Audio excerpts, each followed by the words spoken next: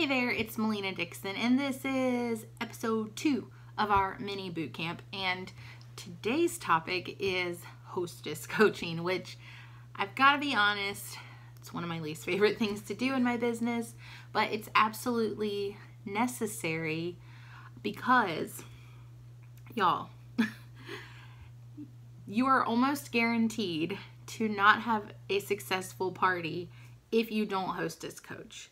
Like, I can't think of a single time that I've not hosted hostess coached and had an amazing party. So we have to do it. But what I'll also tell you is you can do everything right. You can hostess coach the mess out of somebody. You can suggest your host do, you know, X, Y, and Z. They can do X, Y, and Z, and you can still end up with a womp womp party. It's going to happen. You got to play the numbers. They're not all going to be super amazing parties. But hostess coaching definitely increases the odds that your party will be a success. And everyone's definition of a success is different too. Any party where I walk away with some sales, I meet some new people, and I feel like I've got future business, that's a success to me. Okay, so I don't think I'm well known for saying this particular thing, but I thought of the most brilliant uh, phrase to help you think about your hostess coaching. So think of yourself as the conductor of a train. If you're the conductor of the train, you're driving that train and you know how to get to Party Town, but the passengers on board, aka your hostesses, they might not know how to get to Party Town. So think of it that way. Um, you really do guide your hostess. You guys partner together for their party. But here's what I'm learning. Some consultants don't know the way to Party Town either. So it's super important that you, number one, watch, finish watching this video because I'm going to share some stuff. Number two, make sure that you are consistently hostess coaching. Okay, so there's several different ways that you can coach your hostess.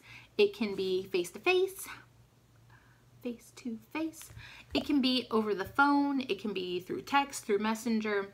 So what you really need to do is figure out what's the way that your host most like to communicate. And that's how you need to hostess coach with them. Yeah, sometimes I'll make videos for some of my Facebook parties, and those seem to be really helpful too because they're short, sweet, to the point, and people can watch them at their leisure.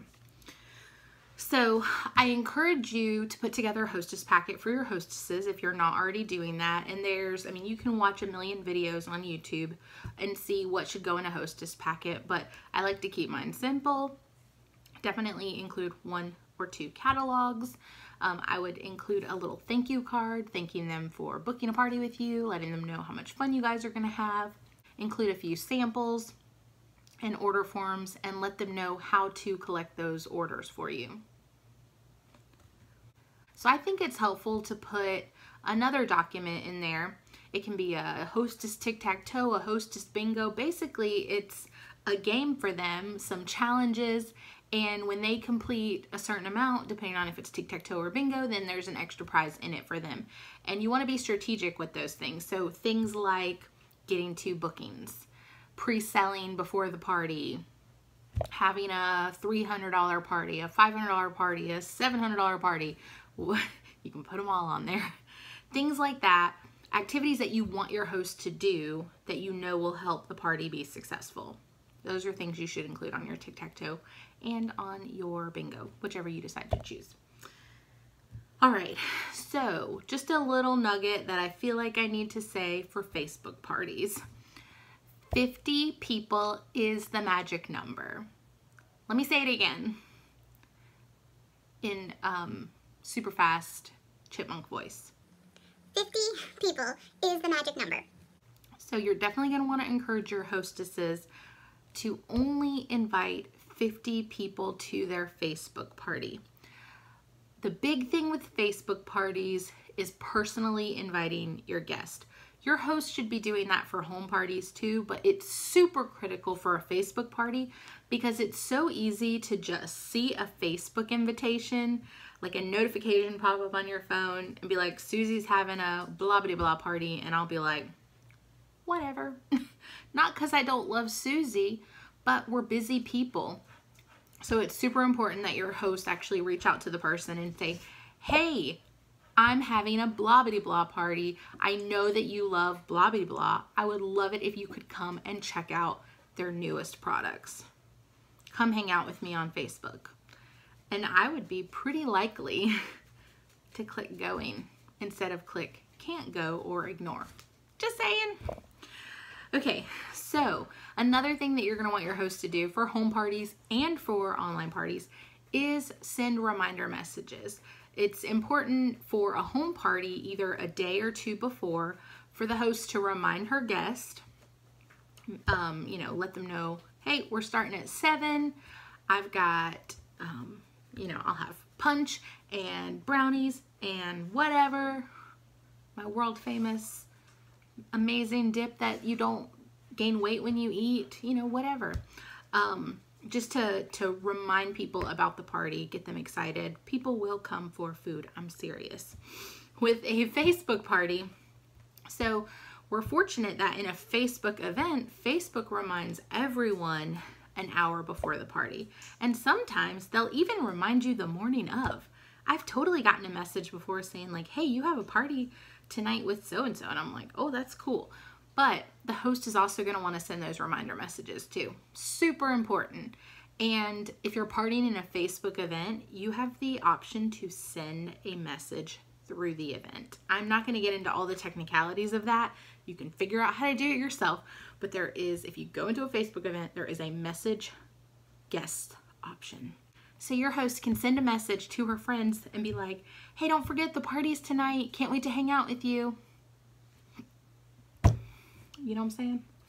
Okay.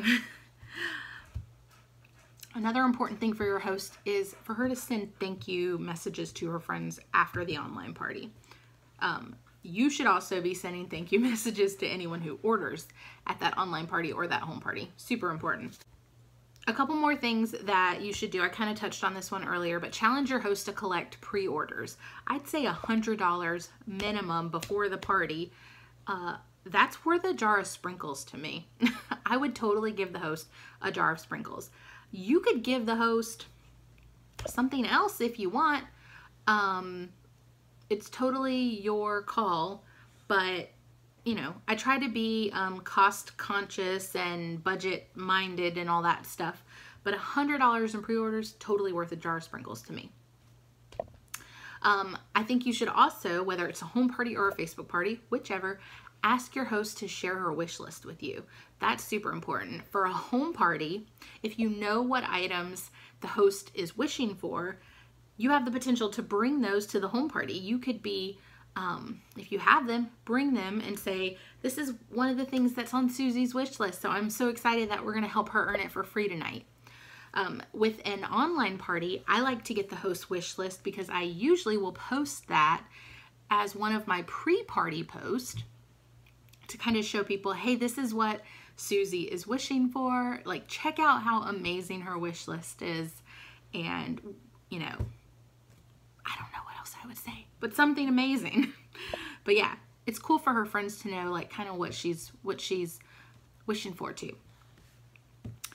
All right, and so before we close, I we have to talk about what do you do if your host totally flakes out on you? Like it could happen. Um, she could totally ghost you and you'd be like, are we still having this party or not? I have no idea. So, um, you know, I said earlier, figure out how your host likes to communicate. But what if she starts ignoring those messages? You know, if she says, message me on Facebook and then stops. Well, hopefully you have another way to reach out to her because I, number one, encourage you to find another way to communicate with her. Is that a text message? Is it a quick phone call? Is it an email? We didn't talk about email earlier, but that's a way that you could communicate because maybe she's just busy or maybe she, you know, forgot to check her Facebook messages. Um, if you're doing an online party and your host just kind of disappears, um, I encourage you to move forward with the party anyways. If you're partying tag team style like I am, um, it's one post a day leading up to the party and five posts during party night. I'll totally do that even if my host doesn't show up. Um, I'll try really hard to make sure she shows up, but if she doesn't, I'm going to move forward with the party because people may still show up and interact and place orders. And, you know, I still want to take care of those customers. With a home party, if she starts to ghost you, oh gosh, been there, done that. Not with Pink Zebra, with my former direct sales company. It ain't pretty. I honestly would um, call them, you know, either the morning of the party or the day before and say, hey, I want to confirm that we're on for tomorrow night at 7 o'clock. Um, if I don't hear from you by 5 o'clock tomorrow, I'm going to assume we are still good and I'm going to pack up my car and head on over with all the pink zebra goodies. I promise you, they will call you or they will text you because they're not going to want you showing up if they don't intend to actually hold that party. Hopefully, that never happens to you, but it's totally happened to me before. Not with Pink Zebra. Um, if your host flakes out on you, you know, the next thing you can do is cry. It's okay. Have a two second tear fest. People suck. Ah. Um, then you should eat a cookie. After you cry, eat your cookie and then put your big girl panties on. And just know that one party does not make or break your business. It feels like it does sometimes, but it doesn't. So you just move forward you do what you can um, based on the situation that you're in, and you just move forward. And maybe if that person is an unreliable host, you don't let them host for you ever again. You can be like, no, you can't host for me. Remember? Remember when you deserted me and I had to cry and eat a cookie? You know? But anyways, I hope this video was helpful. I'd love it if you'd comment below and let me know what you liked what was helpful. Was it all just crazy? Maybe, but hopefully you learned something and I appreciate you guys. Hope you have a great, great night. Bye, friends.